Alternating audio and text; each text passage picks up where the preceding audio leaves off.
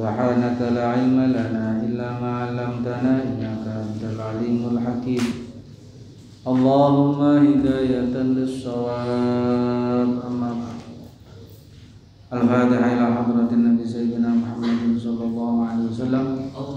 ثم إلى جميع إخوانه من الأنبياء والمرسلين وإلى جميع عباده الطيبين الطاهرين وأزواجهم وأهل المؤمنين. إلى جميع الصحابة والتابعين والأولياء المتقين خصوصا صاحب الكتاب بلوغ المرام بن حجر العسقلاني إنما يتوشى نما يعيد علينا من بركاته وأسرار الأموال ومعهم بركاته وأمهات الدين والدين. هدية لهم الفاتحة. بسم الله الرحمن الرحيم. الحمد لله رب العالمين. إياك نعبد وإياك نستعين. اهدنا الصراط المستقيم. صراط الذين أنعمت عليهم غير بسم الله الرحمن الرحيم. قال المصنف رحمه الله تعالى ونفعنا بعلومه في الدارين. آمين. وعن عائشة Siti Aisyah Radhiya mudah-mudahan meridhai siapa Allah Allah anha dari Aisyah Qalat berkata siapa Aisyah? Qultu berkata siapa aku ya Rasulullah wahai Rasulullah sallallahu alaihi wasallam.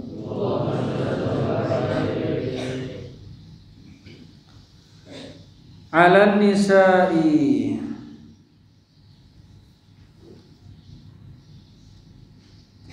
Ala nisa'i itu atas perempuan jihadun bermula jihad Apakah perempuan itu perlu ada jihad? Allah menjawab siapa Rasul? Naam, ya. Alaihinna itu atas An-Nisa.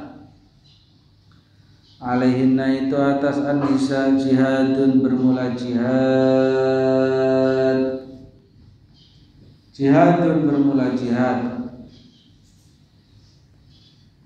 La kita lafi yang tidak yang tanpa perang di dalam di dalam jihad. La kita la yang tanpa perang fi di dalam jihad.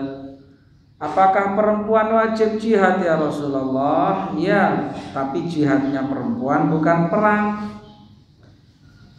Al hajju rupanya haji wal umratu dan umrah. Jadi jihadnya perempuan itu haji dan umrah. Rawahu meriwayatkan akan hadis siapa Ahmad Imam Ahmad. Ibnu Majah dan Imam Ibnu Majah. Walafdu dan bermula lafal. Walafdu dan bermula lafal itu lalahu bagi Ibnu Majah lahu bagi Ibnu Majah wa isnadu dan bermula sanadnya hadis itu sahihun sahih wa asluhu dan bermula asalnya hadis itu fi sahih di dalam kitab sahih. Wa asluhu dan bermula asalnya hadis itu fi sahih di dalam uh, riwayat yang sahih. Ini menunjukkan bahwa derajatnya haji dan umrah itu sama dengan derajatnya orang yang perang jihad visabilillah bagi para wanita. Karena tenaga wanita untuk berperang melawan orang kafir, membawa senjata dan seterusnya mungkin lemah. Sehingga kewajiban untuk berperang ditumpukan kepada kaum laki-laki. Kan tetapi bukan berarti perempuan tidak punya kesempatan untuk berjihad. Jihadnya perempuan adalah dengan haji dan umrah. Wan Jabirin dan dari sahabat Jabir ibni Abdullah dan dari sahabat Jabir bin Abdullah. Wan Jabir ibni Abdullah dan dari sahabat Jabir bin Abdullah Radhiya mudah-mudahan meridhai siapa Allah Allah anuma dari keduanya. Qala berkata siapa Jabir. Qala berkata siapa Jabir.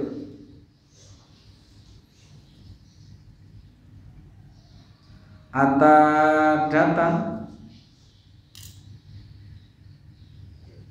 A'rab uh, an-nabiyya itu bukan an-nabiyyu itu. Maf'ul. Harakatnya dirubah. Ata datang an-nabiyya pada kanjeng Nabi Muhammad sallallahu alaihi wasallam. Siapa A'rabiyun orang Badui? Siapa A'rabiyun orang Badui? Faqala maka berkata siapa A'rabi? Faqala maka berkata siapa Arabi ya Rasulullah wahai Rasulullah Akhbirni ceritakanlah kepadaku. Akhbirni ceritakanlah kepadaku anil umrati tentang umrah. Anil umrati tentang umrah. Awajibatun apakah wajib? Awajibatun apakah itu wajib? Ia bermula umrah Faqala maka menjawab siapa Nabi? La tidak wajib. Wa anta tamira dan hendaknya berumrah siapa engkau? Tak tamira dan hendaknya berumrah siapa engkau? Faridatan uh, khairun itu lebih baik laka bagi engkau itu khairun lebih baik laka bagi engkau.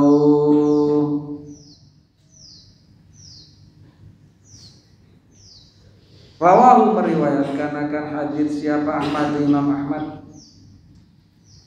At-Tirmidzi dan Imam Tirmidzi warajihu dan bermula yang rajih warajihu dan bermula yang rajih itu wakfahu. Itu wakfu. Itu wakfu mauqufnya hadis. Akhrajahu dan mengeluarkan akan hadis. Siapa Ibnu Adi? Imam Ibnu Adi.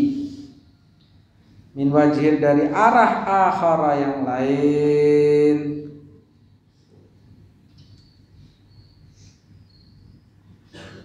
Dhaifin yang lemah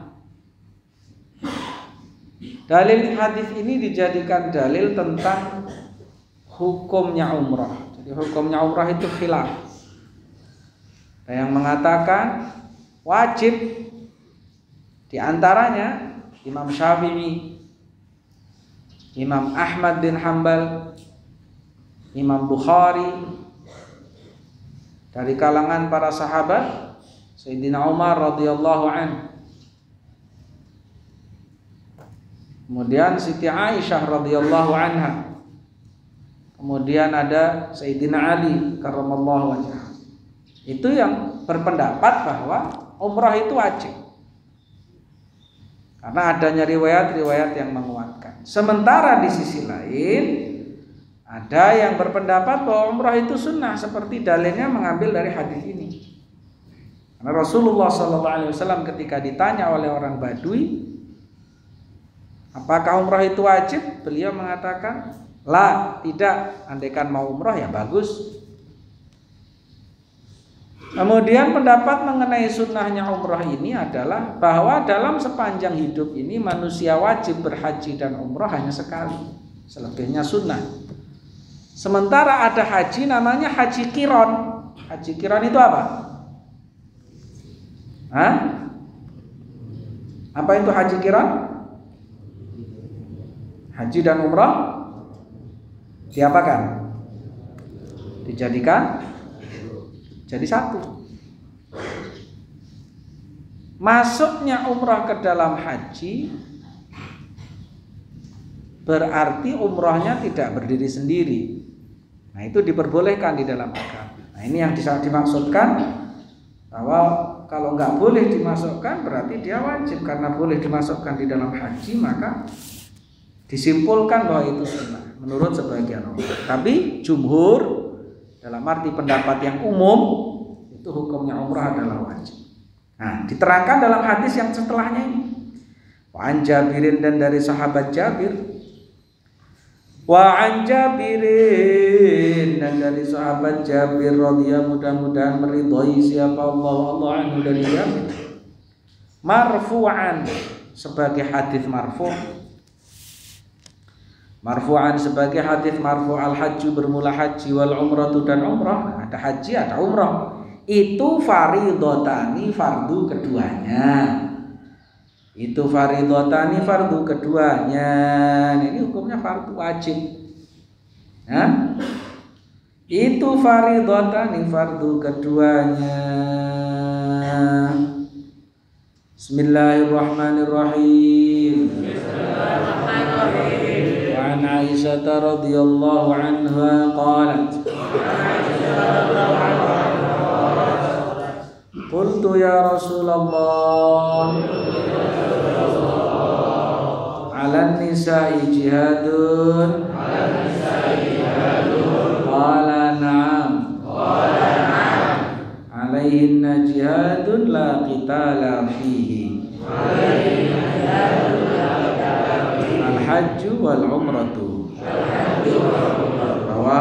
Rawahu Ahmadu Wa ibnu Majah wal lafdhu lahu wa isnaduhu sahihun wa asluhu fi sahihi Wa ibnu Majah wal وعن جابر بن عبد الله رضي الله عنهما قال أتى النبي أتى النبي صلى الله عليه وسلم أعربي فقال Ya Rasulullah. Ya Rasulullah Akhbirni anil umrati awajibatun hiya. Qala. La wa anta atamira khairun laka. Rawahu Ahmadu wa Tirmidhi wa Rajihu wa Fahu وأخرجه ابن عدي من وجه آخر ضعيف وعن جابر رضي الله عنه مرفوعا الحج والعمرة فريضتان اقرأوا جماعة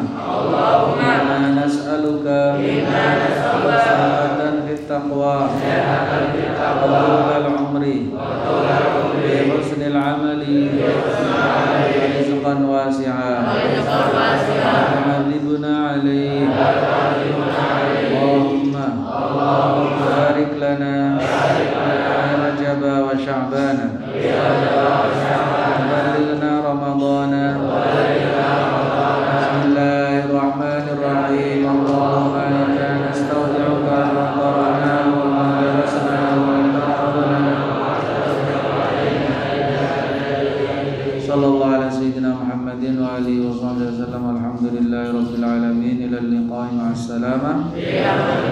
اللهم وفق إلى الطريق والسلام عليكم